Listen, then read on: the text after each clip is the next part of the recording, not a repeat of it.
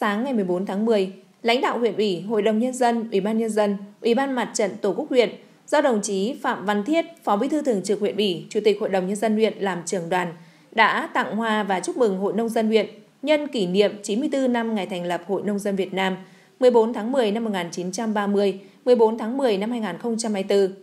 Cùng đi có các đồng chí Ủy viên Ban Thường vụ huyện ủy, lãnh đạo Ủy ban Nhân dân huyện, lãnh đạo các ban xây dựng đảng, văn phòng huyện ủy, mặt trận Tổ quốc và các đoàn thể huyện, tặng hoa chúc mừng Hội Nông dân huyện, đồng chí Phó Bí thư Thường trực huyện ủy, Chủ tịch Hội đồng Nhân dân huyện đánh giá cao những đóng góp của các cấp hội và hội viên nông dân đối với sự nghiệp xây dựng và phát triển kinh tế của huyện,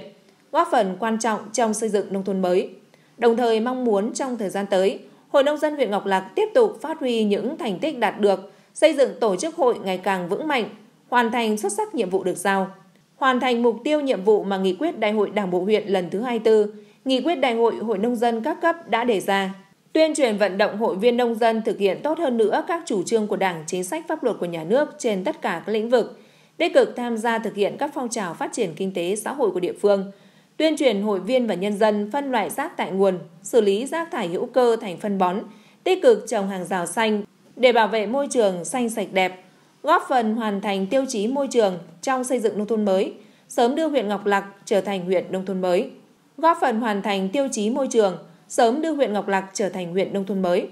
Đại diện lãnh đạo hội, đồng chí Vũ Văn Long, Chủ tịch Hội Nông dân huyện đã cảm ơn sự quan tâm của cá nhân đồng chí Phó Bí thư Thường trực huyện ủy, Chủ tịch Hội đồng Nhân dân huyện, cùng lãnh đạo huyện và các ban ngành đoàn thể của huyện,